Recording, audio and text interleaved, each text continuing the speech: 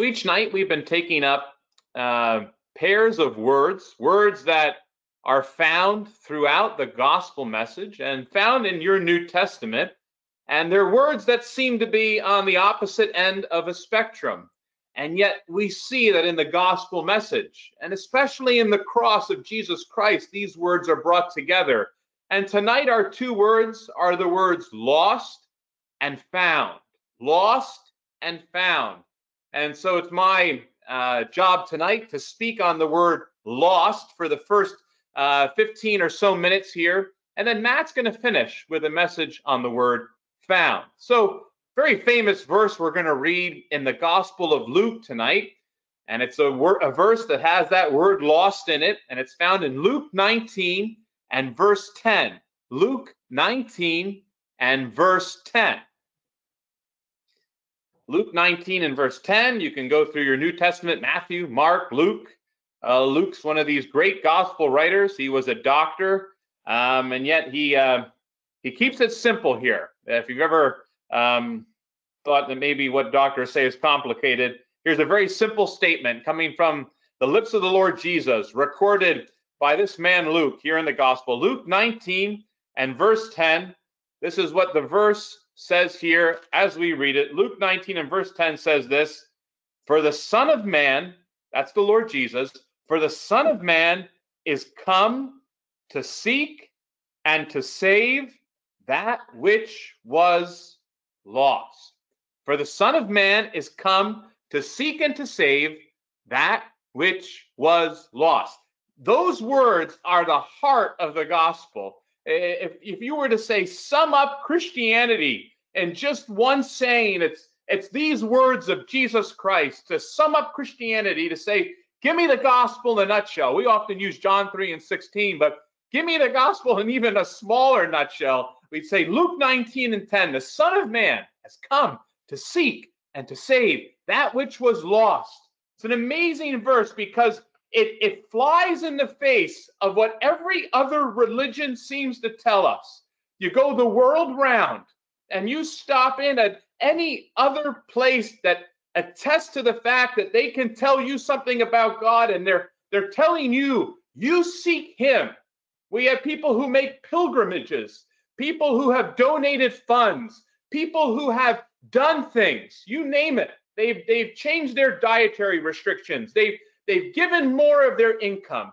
They've they've got on their knees for a longer period of time in prayer. They've they've read more, they've gone more, they've done more. And all this doing why? Because they're seeking God. They're seeking to find him. In fact, it's a we live on a globe of God seekers, just looking for him. And here you read the words of the Lord Jesus Christ and you realize we had it all backwards. Men are trying to do their best to get closer to him, to seek him, and all the while, the verse and the words of Jesus Christ says this the Son of Man has come to seek and to save that which was lost. He's seeking us. He's coming after us. If if you've searched your whole life for God and wondered if you'll ever get to the point where you'll say, Got him. Maybe tonight you rest from your search and realize that Christ is looking for you. It's not a matter of me getting him, it's him getting me. And this verse tells me it tells me the man who's seeking, tells me how he's doing it, and it tells me who he's looking for. We're going to look at that tonight and here and this very short but very powerful verse in Luke 19 and 10. The Son of Man has come to seek and to save that which was lost. You know, I just want to speak upon tonight who was looking and how he looked. But uh, I, I, can't think of this verse and not think of the lost and found box that I don't know if they still have them. It seemed to be every, I, I must have had to have looked in at least a good dozen lost and found boxes in my life from my high school in Midland Park to uh, I think at Six Flags. I had to look in a lost and found box twice um, at, at, at arcades and everywhere. At, I was always losing, it seemed, a wallet or something special. And to have to look in a lost and found box is one of the saddest moments of any seeker's life because you look into that box and you realize right away it's not a lost and found box. It's a box of things no one is looking for. You, you see scrunchies, half-used pencils, uh, but never a wallet, never, never a single piece of currency. It's all stuff that people have forgotten about. They, they're not looking for anymore. Let me assure you tonight Let me assure you from the word of God that if you are listening here tonight, I could say even people who aren't listening, that souls are of the utmost value to this man, Jesus Christ. You say, How can I be sure?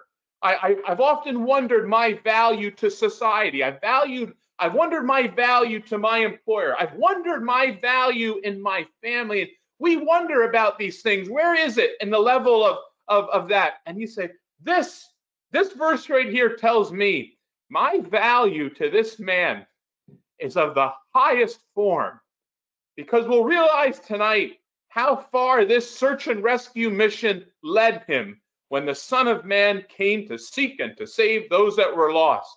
So it has nothing tonight that's akin to anything that you'd find in a lost and found box because Christ is searching for souls and he makes no he makes no uh, as it were standard of the type of people he's looking for it's just that they're lost He's looking for lost people. That's significant in our Bible. The Lord Jesus said, I didn't come for righteous people. I came for ungodly. I came for sinners. He says, he goes, the physician, he called himself. He said, I didn't come for people who were healthy. I came for those who were sick.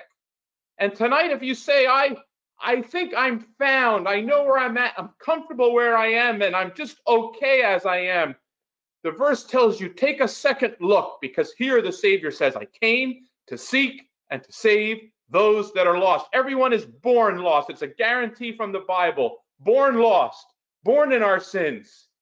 And yet to have a time in your life where you were found by this man, Jesus Christ, found because of what he did at Calvary. I look here and it says the Son of Man. Who's looking? Who's looking?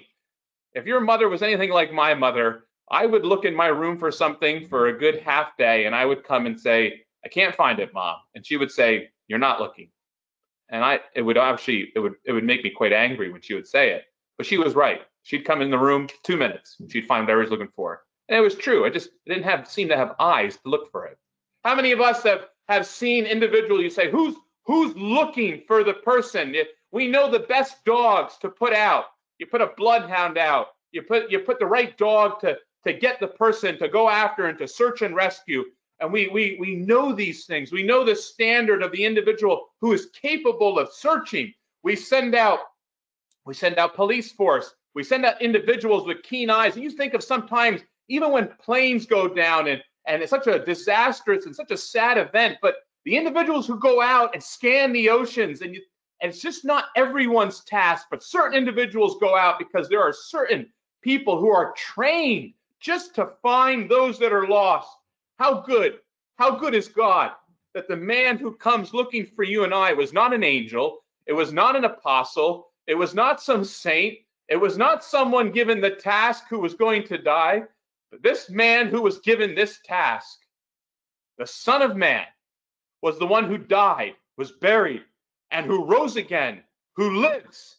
And he's the one who it says he is seeking he is looking for me to seek and to save me. How tremendous that the man who is looking for me is the same man who loved me and gave himself for me. You know, that's tremendous. Whenever you read of, I was looking the other day at those flyers that you get in the, the coupon section. Uh, I think it's Valassis, and they they send out these coupons, and every every other week you get that coupon of "Have you seen me?" and I read the stats on it the other day. It was 35 years since they've been doing that and sending out those little coupons of have you seen me? Over 160 kids have been returned to their parents as a result of those little flyers. And, and how tremendous to think that average citizens of the United States, people who have no connection to these individuals, are reporting them and, and reconnecting them with their loved ones.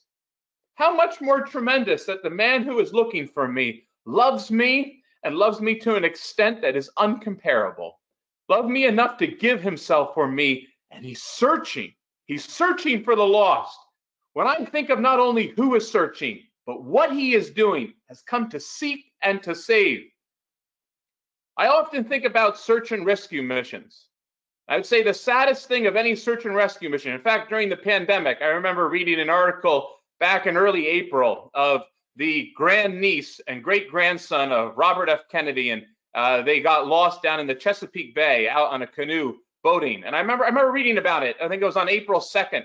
And I remember each day they would give news that they were searching for them. And they had helicopters, they had boats out in the Chesapeake looking for them. And I remember the news around April 7th, and it said this that the mission had stopped being a rescue mission, but it had continued to just be a search mission. Those are sad words. I can think of any parent or any loved one who's lost someone, and you say, When do you call it off? When do you stop looking? When do people finally just give up and say, You know, it's not going to happen? We're going to stop thinking about the rescue. We're just going to look for some closure in the search. And, and it's a devastating thought, but it has to take place. It's got to hurt every person who's ever had to stop looking for some loved one because it's gone on long enough. You know, there's a chapter in this book that we've read tonight, Luke 15. Luke chapter 15 tells me about a lost sheep, and it tells me about a lost coin, and it tells me about a lost son. But more than those lost things that are found, it tells me about the man who looks, and it says this. You go read the words for yourself tonight. You get a chance tonight, you open your Bible to Luke 15 and you read these first couple of verses, and it tells me this about the man who is looking for sinners, who is looking for the lost. It says this He searches until he finds them. He searches until he finds them. I can almost hear the voices coming back at me tonight. And you would say to me, I know of people that he hasn't found. I wonder why. I know of people that are are not saved. I know of people who who don't know heaven for sure. I know of people and they're not they don't have peace with God. I wonder why he hasn't found them. The answer from the Bible is a is a very clear answer. They're not lost. They don't believe they're lost because the Bible tells me someone who realizes they're lost, realizes that they can't find God. They're not going to get their own way to heaven. They're not going to be able to achieve it. Someone who knows they're lost, the Bible tells me he finds them. That's a great promise. It's an unbelievable promise. And here the Son of Man has come. It's already happened. He already came. He came and he went to a cross. He came to die for sinners. He came to seek and to save those that were lost. I, I implore you tonight, take a good look. Take a good look within tonight. Be very transparent before God. If you don't have a time in your life where you recognized you were lost, where you were lost and without hope in this world, but if you've had a moment like that, you'll recognize this. To have a moment when you know you're lost would immediately cause you to cast your confidence and trust in this man who seeks and saves the lost. That's who he's looking for. The lost. The tremendous title of all the demographics that we we disdain to be part of in this life. This is the group that at first look it seems awful to belong to the lost. And yet you read those sweet words of Luke 19 and 10 and you realize this is the only group I ever want to belong to because the Son of Man, Jesus Christ, has come to seek and to save those that were lost. I close with a story I was reminded of. It was a basketball coach. He was a coach for the Oklahoma City Thunder. And four years ago, Monty Williams lost his wife, Ingrid Williams, in a car crash. It was a devastating loss. He had at least, I think, four or five children. And when interviewed later on about the eulogy he gave at the funeral, he said there were people who come up to him and said, We are sorry for your loss. Monty Williams was a believer in Jesus Christ, and he turned to those people and he said, Someone's not lost if you know where they are. What a thought tonight to think. You could know your sins forgiven. You could know whatever happens to you tomorrow, you will be in heaven. And if anything were to happen to you, we could say, Someone's not lost if you know where they are. To be in heaven above. Whatever this life brings, whatever this life delivers, to know this and to hang my trust and my faith on this that the Son of Man has come to seek and to save those that are lost. Realize who you are tonight, realize who He is, and tonight place your trust in Jesus Christ and know what He has done in order to save your soul. Continue to listen to Matt as he tells us about the one who came to seek and to save the lost. Thanks, Dave. Uh, I'm going to read uh, Luke chapter 15. Uh, Dave and I did not talk about, I never called Dave today to tell him where I was going to read uh, in closing, but very interesting. He mentioned this particular chapter. So, Luke chapter 15, and I'm going to read just a couple verses in verse uh, number seven. It says this I say unto you, this is Jesus Christ speaking, that likewise joy shall be in heaven over one sinner that repenteth more than over 90 and nine just persons which need no repentance. Verse 10 I say unto you, there's joy in the presence of angels of God over one sinner that repents. And the last verse of this particular chapter in chapter 15, and I'm telling you this for a reason, I'll get there in a second, says these words For this your brother was dead and is alive again. He is lost and is found. Dave mentioned uh, to sum up the gospel in Luke chapter 19 and verse 10 For the Son of Man is come to seek and to save that which was lost. And I love that verse, especially when you're going to sum up the gospel perhaps in a nutshell. If you were to sum up perhaps how much you matter on the call today, in a world that thrives on likes, in a world that thrives on their social media account being absolutely filled with a, a million likes to identify falsely perceived human worth. Let me read you this verse. As millions of angels rejoice over a soul that repents, that, my friend, is worth. Jesus says, the Son of God, the Godhead tells human beings, he says, there is joy in the presence of the angels of God over one sinner that repents. That, my friend, is absolute worth. Interesting, if you look at chapter 14 of Luke, Jesus is speaking about inflexible people. He's teaching about inflated people, invited people, indifferent people, indulgent people. And if you skip 15 and jump to 16, he spends a whole chapter on wealth. But if in the middle of those three chapters 14 15 and 16 this beautiful chapter chapter 15 is dedicated all 32 verses to showing god's love for sinners you ask the question well does god love me christ is speaking about his love for sinners and it crescendos here in these parables do you know for sure let me ask you a question as we start this meeting i'm probably going to be a little more uh, transparent perhaps maybe a little more bold perhaps on the call let me just ask you this do you know for sure that you're going to heaven. I will tell you this if there's any hesitation when I ask the question, Do you know for sure you're going to heaven? Please, please listen carefully because when we speak of this word found and when we speak of this word lost, I've never met anyone that's found that didn't first, first realized they were lost. The day I came to trust Christ, I realized I was lost. It's the day that I was found. What about your story? In Luke chapter 19 and verse 10, Jesus is telling Nicodemus, uh, sorry, Zacchaeus and many others that are there, he's saying, Zacchaeus, the Son of Man, Christ, is come to seek, to save that which was lost. I personally know that heaven is my home. I love the story Dave closed with tonight. I love, I know that heaven's my home, not because of what I've heard or what David said or what another preacher has told me. It's because what God said. He said that in his word. John 3:16 is the verse that I came to trust for God so loved the world that he gave his only begotten son that whosoever believes in him will never perish, but will have everlasting life. The late Billy Graham said these words I will not go to heaven because I am a preacher. I'm going to heaven entirely on the merit of the work of Christ. Understand this truth tonight, dear friend. If you're lost, you can be found tonight. A big word, found. We could study all of Scripture and talk about individuals that were found. Here in this context, Jesus is telling parables because there's Pharisees that lack compassion. There's Pharisees that lack joy for sinners when they repent and are saved. They receive sinners with disdain. Maybe you understand people and maybe you're struggling with a particular sin on this call.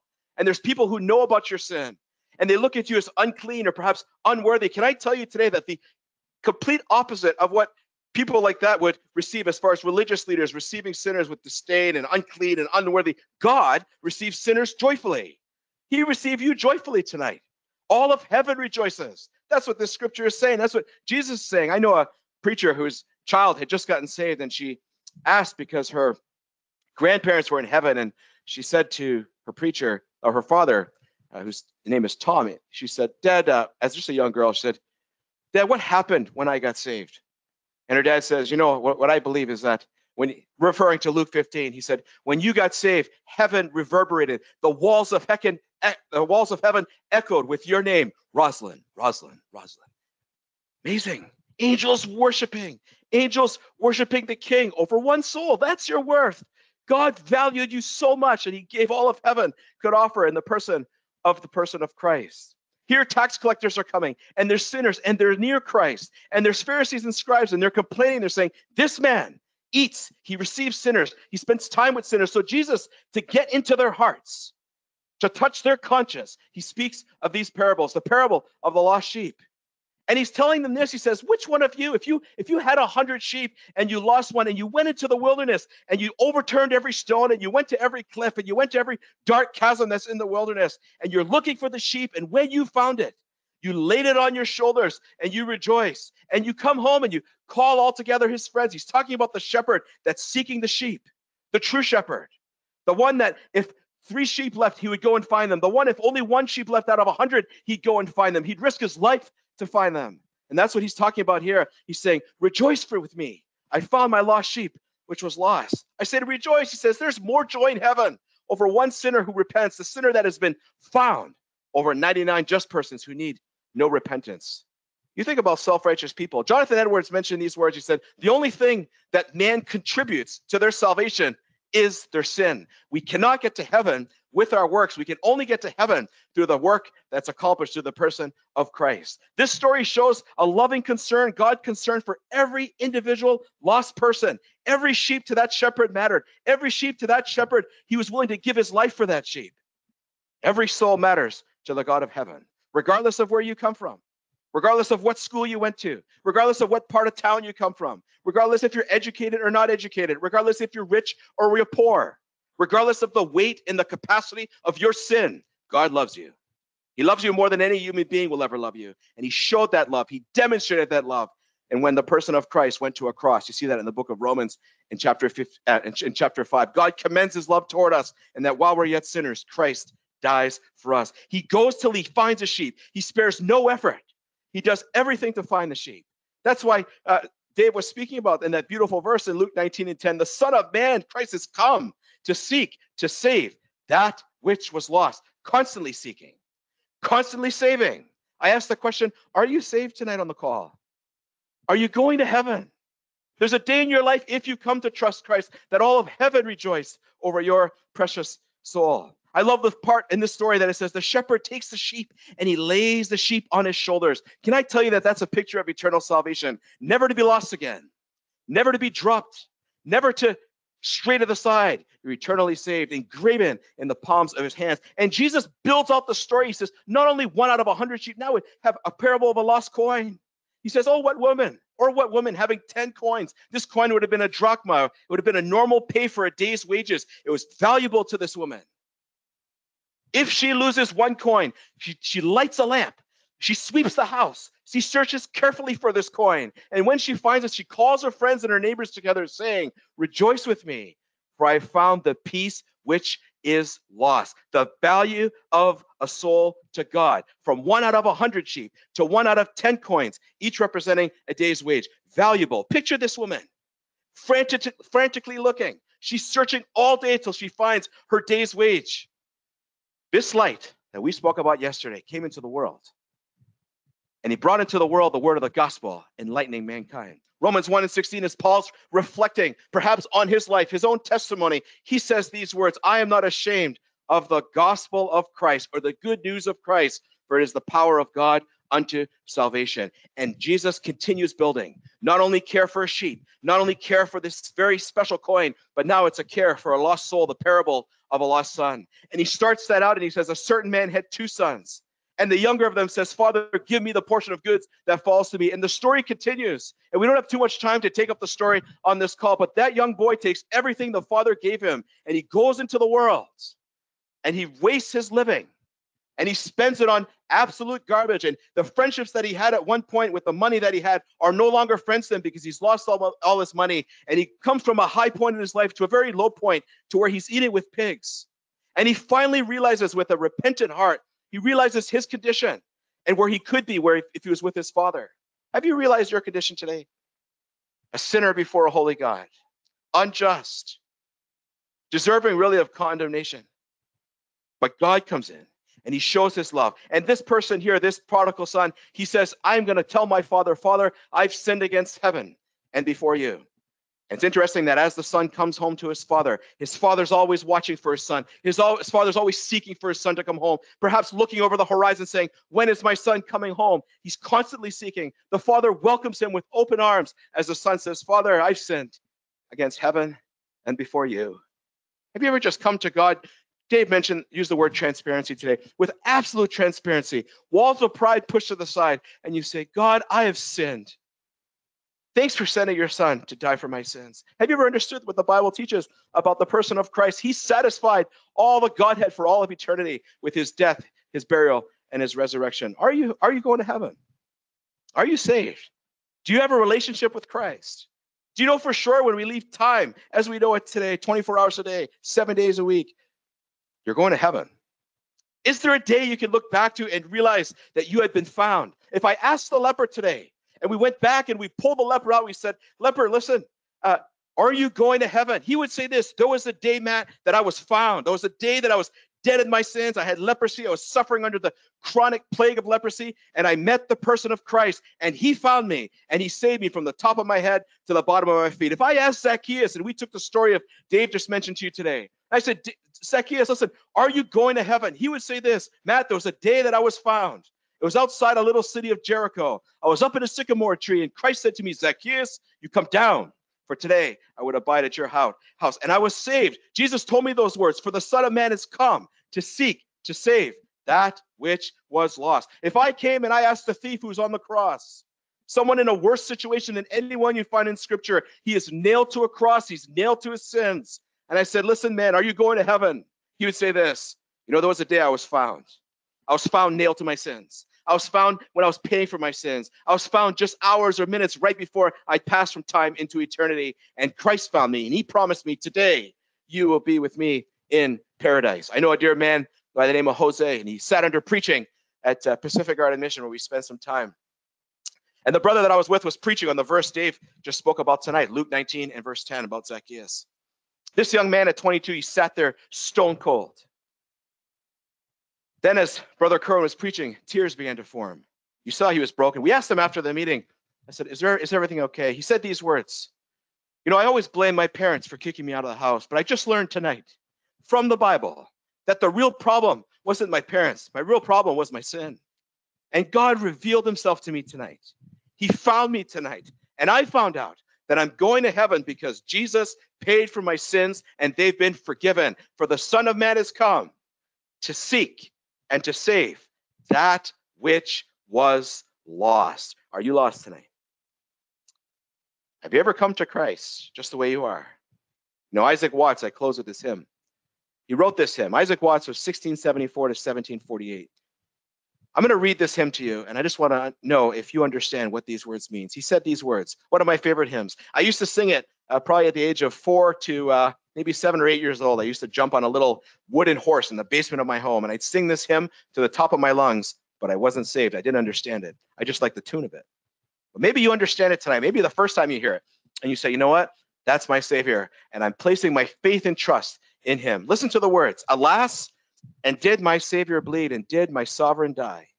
Would He, Christ, devote that sacred head for such a worm as I. The writer's understanding his condition, a worm like me. Was it for sins that I had done? He groaned upon the tree, Christ groaning on a tree, on the cross.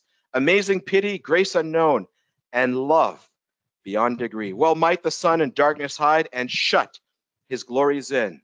When Christ, the mighty maker, died for man, his creatures sin. Have you understood that? That the mighty maker, Christ, he died for man, his creature's sin. The writer continues and says, Thus might I hide my blushing face while his dear cross appears, dissolve my heart in thankfulness and melt mine eyes to tears. That could be you tonight. Your heart dissolved in thankfulness. Very simply, you just come to trust Christ that he died on a cross. The chorus reads this At the cross, at the cross, where I first saw the light, and the burden of my heart rolled away. It's there by faith I received my sight and now I'm happy all the day. At six weeks old, Fanny Crosby got a cold. and inflammation to her eyes. Ended up ending up in permanent blindness. 71 years she went through her life like this, blind. They called Fanny Crosby the queen of gospel songwriters. She wrote more than 8,000 hymns and gospel songs. But while singing this song, Thus might I hide my blushing face while his dear cross appears, dissolve my heart in thankfulness and melt mine eyes to tears. She was singing this song in a revival meeting in the year 1850. And she said, as I sang those words at the cross, at the cross where I first saw the light, she said these words My soul is flooded with a celestial light. My soul is flooded with a celestial light.